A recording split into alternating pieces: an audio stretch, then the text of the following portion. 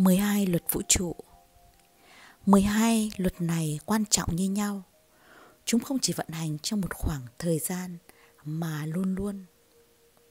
Thứ nhất, luật đồng nhất thể. Luật đồng nhất thể là một trong những luật của vũ trụ nói rằng tất cả chúng ta được kết nối.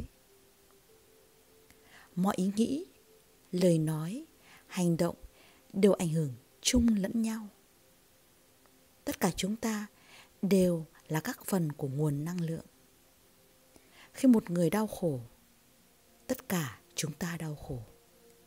Khi một người tăng trưởng, tất cả chúng ta tăng trưởng. Đó chính là lý do tại sao khi bạn cảm thấy tức giận, ghen tuông, thất vọng, hận thù với người khác, bạn chỉ làm tổn thương chính mình. Khi bạn cảm thấy thương yêu, nhẫn nại, tốt bụng, tình bạn, đồng cảm với một ai đó là bạn đang trao gửi tới chính mình. Thứ hai, luật đồng thanh tương ứng. Vũ trụ chuyển động trong một mô hình vòng tròn. Nó áp dụng cho mọi suy nghĩ, cảm giác và mong muốn. Mọi suy nghĩ, âm thanh, vật thể đều có năng lượng dao động riêng của mình. Tất cả chúng ta ở đây, trên trái đất này là để nâng cao rung động của mình. Những rung động cao nhất được gọi là sự giác ngộ. Chúng ta tìm cách giúp đỡ những người khác, đặt mình vào vị trí của Thượng Đế và sống trong ánh sáng của Ngài. Kết nối thông qua thiền định, lắng nghe tiếng nói của Thượng Đế, giác ngộ là đưa mình thoát khỏi bản ngã của chính mình. Chúng ta có thể buông bỏ lòng tự cao, sự nắm giữ tiền bạc, quyền uy với bạn bè và gia đình, cảm nhận của mình về người khác và cảm nhận của họ về mình. Nó là thứ để cho đi và định hướng đúng với nguồn Thượng Đế. Thứ ba, luật hành động. Kiến thức không phải là sức mạnh. Kiến thức phải đi cùng hành động tích cực sẽ tạo ra một năng lực mạnh mẽ. Đó là khát vọng cháy bỏng để điều khiển hành động. Đau đớn sẽ thúc đẩy bạn cho đến khi ảo tưởng kéo bạn đi. Bạn cảm thấy dễ nói, nổi nóng về điều gì? Điều gì làm bạn cảm thấy lo lắng bồn chồn? Hãy xóa bỏ cảm giác đó. Nó đang đợi bạn hành động. Thậm chí, nhiều người chờ đợi các điều kiện hoàn hảo trước khi họ thực hiện bước đầu tiên. Điều đó cũng giống như khi bạn quyết định đến cửa hàng, bạn vào xe, khởi động máy và chờ đợi đến khi tất cả các tín hiệu đèn chuyển sang màu xanh trước khi bạn lái xe ra đường. Làm sao con kiến ăn được con voi? Mỗi lần một vết cắn, đó là từng bước luôn tiến về phía trước với tất cả thời gian. Thứ tư, luật tương ứng. Luật tương ứng nói rằng suy nghĩ nội tâm sẽ thể hiện ra bên ngoài. Thế giới bên ngoài phản ánh thế giới nội tâm. Một người nói nhiều về tiêu cực sẽ tạo ra cho họ hoàn cảnh tiêu cực và các sự việc tiêu cực sẽ lặp đi lặp lại trong cuộc sống của họ. Bạn sẽ tự hỏi, làm thế nào mà tất cả những chuyện ấy có thể xảy ra? Luật tương ứng cho chúng ta biết rằng khi tâm trí chúng ta tập trung những thứ rác rưởi, chúng ta sẽ tạo ra rác rưởi. Vì vậy, tạo dựng những gì bạn muốn bắt đầu từ bên trong và cho phép chúng biểu lộ ra thế giới vật chất. Đây là một trong những luật của vũ trụ được biết đến bởi một cái tên quen thuộc. Nó thường được gọi là nghiệp chướng hay gieo gì gặt nấy. Thứ năm, luật nhân quả. Không có gì xảy ra một cách tình cờ. Với mỗi hành động sẽ có một tác động ngang bằng hoặc ngược lại. Với ví dụ về tác động ngang bằng, khi chúng ta tác động tới người khác với lòng tốt và tình yêu, nó sẽ trở lại với chúng ta. Khi chúng ta tác động tới những người khác với sự ghen tị, giận dữ, thất vọng, nó sẽ tác động lại với chúng ta.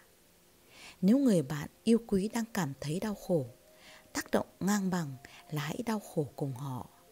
Tác động ngược lại là nói và làm những điều vui vẻ, tạo môi trường thanh bình, giúp họ xóa tan nỗi đau. Thứ sáu, luật bù trừ.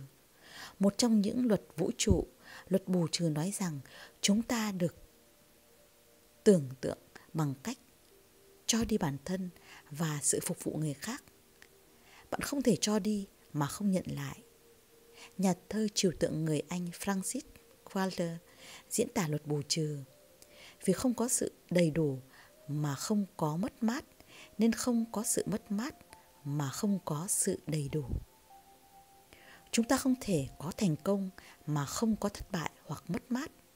Chúng ta không thể có cuộc sống vui vẻ mà không có vài khoảnh khắc đau khổ. Bạn phải đi qua sa mạc để đến miền đất hứa.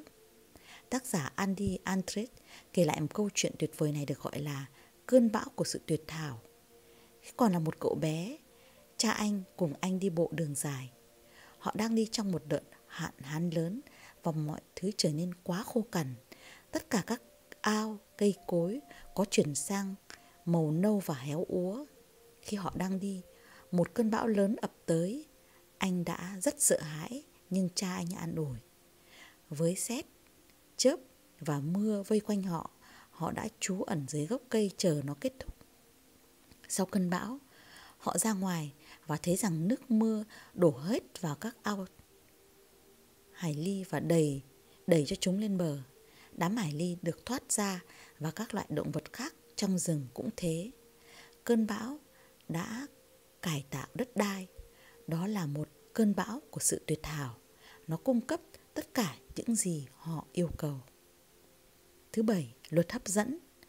Luật hấp dẫn nói rằng bất cứ điều gì bạn tập trung với sự chú tâm và năng lượng, bạn sẽ hấp dẫn nó cho dù bạn muốn hay không. Đây là một trong những luật vũ trụ đã có rất nhiều sự chú ý trong những năm gần đây. Đôi khi người ta không hiểu năng lượng tích cực thì hấp dẫn tích cực hơn và năng lượng tiêu cực thì hấp dẫn tiêu cực hơn. Như lực hút nam châm vậy. Khi bạn trò chuyện về những gì bạn không thích hoặc không muốn, bạn đang hấp dẫn hơn năng lượng tiêu cực. Một khi bạn bắt đầu nói về những gì bạn muốn, bạn sẽ hấp dẫn năng lượng tích cực. Rung động của bạn thay đổi khi bạn nói về những gì bạn muốn. Thứ 8, luật chuyển hóa năng lượng. Một luật khác là luật chuyển hóa năng lượng nói rằng các năng lượng rung động cao này sẽ tương xứng với các năng lượng cao khác và có khả năng nâng cao năng lượng thấp hơn. Trong luật vũ trụ, con người có khả năng thay đổi, biến đổi và phát triển. Thứ 9, luật tương đối. Luật tương đối nói rằng vạn vật đều trong một trật tự hoàn hảo Luật nói khi chúng ta nhìn vào những hoàn cảnh và tình huống của người khác mà tồi tệ hơn so với chúng ta, chúng ta cảm thấy may mắn. Còn khi nhìn vào những người có cuộc sống tốt hơn, chúng ta cảm thấy ghen tị. Vì vậy, cỏ luôn xanh hơn ở phía trước kia của hàng rào. Không có cái gì là tốt hoặc xấu cho đến khi nó liên quan đến chúng ta. Khi bạn bị đau hay ốm, cha mẹ bạn sẽ đồng cảm với bạn một người bạn đang đau khổ vì cuộc chia tay, bạn sẽ cảm nhận nỗi đau của họ vì bạn đã từng trải qua nó. Thứ 10 luật tương phản. Luật tương phản nói rằng mọi thứ đều có mặt trái của nó. Nó được mô tả trong luật vũ trụ. Có trên sẽ có dưới. Điều này có nghĩa gì? Bạn cũng biết, nam châm có một cực âm và một cực dương. Nếu bạn cho hai cực trái dấu gần nhau nó sẽ tạo ra một lực hút mạnh mẽ. Còn nếu bạn cố cho hai cực cùng giấu gần nhau, nó sẽ bật ngay ra ngay lập tức. Đàn ông và đàn bà là khác nhau. Đàn ông sao hỏa, đàn bà sao kim. Tác giả John Gray năm 1992. Mặc dù chúng ta rất khác nhau, nhưng chúng ta lại rất hấp dẫn nhau. Một sự cân bằng là cái nhìn dễ hiểu với luật tương phản. Như chiếc bập bênh hai phía đối diện nhau nhưng giữ cho nó cân bằng. Cũng như khi bạn giữ hòn đá bằng tay phải, trọng lực của bạn sẽ làm bạn nghiêng sang bên phải, rất khó cho việc di chuyển. Điều bạn cần làm là cho thêm hòn đá vào bên trái, khi đó hai lực sẽ cân bằng, bạn sẽ giữ được thăng bằng. Tuy hai bên là đối ngược nhau, nhưng chúng liên kết với nhau. Tốt thành xấu, ánh sáng thành tối tăm, đen thành trắng. Mặc dù đó có phải là điều bạn muốn hay không, hãy luôn tin rằng điều tiêu cực sẽ luôn trở thành tích cực. Nó phải thế. Ngày qua ngày, giống hệt nhau mà không có sự thay đổi. Nếu không có sự thay đổi, sự đối ngược, cuộc sống sẽ nhàm chán ra sao? Hãy bắt đầu trải nghiệm cuộc sống, làm nên sự thay đổi, làm những việc khác nhau, từ đó cuộc sống sẽ đổi thay. 11. Luật nhịp điệu Vạn vật là năng lượng rung động và có nhịp điệu. Có nhịp điệu cuộc sống, có mùa, chu kỳ, sinh tử, khuôn mẫu cuộc sống như trong bài hát The Cycle of Life, Leon King. 12. Luật giới tính Vạn vật đều có thời kỳ ấp trứng hay thai nghén. Mỗi ý nghĩ là một hạt giống gieo vào vũ trụ. Nó cần có thời gian nuôi dưỡng và phát triển. Ngay cả khi bạn không thể nhìn thấy hình dạng vật chất, bạn biết rằng nó dần lộ rõ. Cảm ơn các bạn đã lắng nghe và chia sẻ video của mình. Chúc các bạn thân tâm thật là an lạc. Mình đọc lúc 0 giờ sáng ngày 13 tháng 12 năm 2018.